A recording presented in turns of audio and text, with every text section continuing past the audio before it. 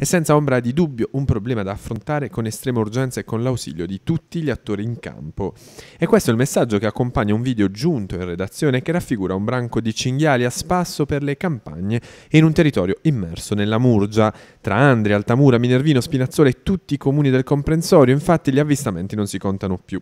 Ed il pericolo corre sulle strade provinciali interne, ma anche nei campi coltivati, dove i cinghiali si riversano alla ricerca di cibo. Il video d'altronde parla chiaro, un branco formato da oltre una cinquantina di esemplari tra adulti e cuccioli corre verso il bosco transitando sulla provinciale con enorme sorpresa del gruppo a bordo dell'autovettura e che ha filmato il passaggio, ma le segnalazioni purtroppo sono ormai all'ordine del giorno.